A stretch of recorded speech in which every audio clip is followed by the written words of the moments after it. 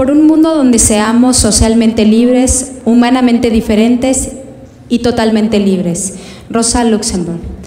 Saludo y agradezco la presencia de todos los presentes este día.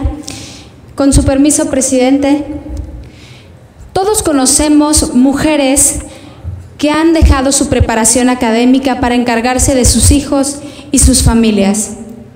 ¿Se han preguntado qué sucede con las amas de casa cuando su familia se destruye?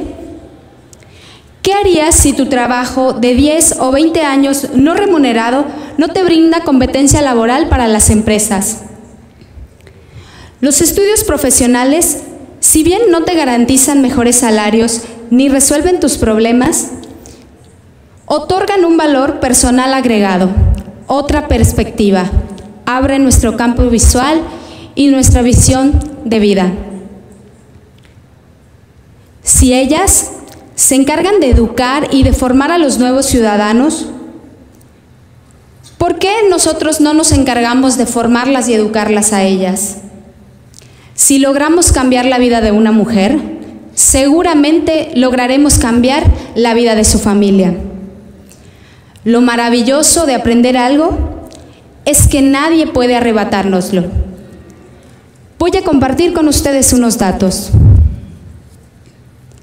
Las mujeres tienen las mayores tasas de graduación educativa universitaria con respecto a los hombres. Actualmente, las mujeres terminan la universidad con mejores calificaciones que los hombres. Sin embargo, antes de que cumplan 30 años, ellas estarán ganando 10% menos que ellos. De acuerdo con el Instituto de Estadística de la UNESCO, se calcula que en la actualidad dos terceras partes de 875 millones de adultos analfabetas en el mundo son mujeres.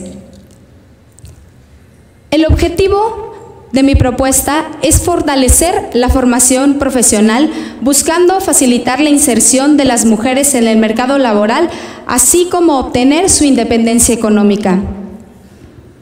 Por ello, propongo la adición al artículo 16 en su fracción décima de la Ley General de Educación del Estado de Quintana Roo, la cual quedaría de la siguiente manera. Se, se, instrumentarán acciones afirmativas para que las mujeres y las niñas indígenas puedan y accedan a becas y apoyos. Además, se impulsará la profesionalización de las mujeres quintanarroenses, amas de casa, jefas de familia, solteras, viudas, divorciadas, separadas sin limitación alguna de edad, para garantizar la igualdad de las oportunidades en el acceso a todas las modalidades y niveles educativos que realizarán acciones para otorgar la equidad de género en todos los niveles y modalidades del sistema educativo y así disminuir la brecha educativa entre hombres y mujeres. Para mis amigas que fueron inspiración, hagamos lo posible.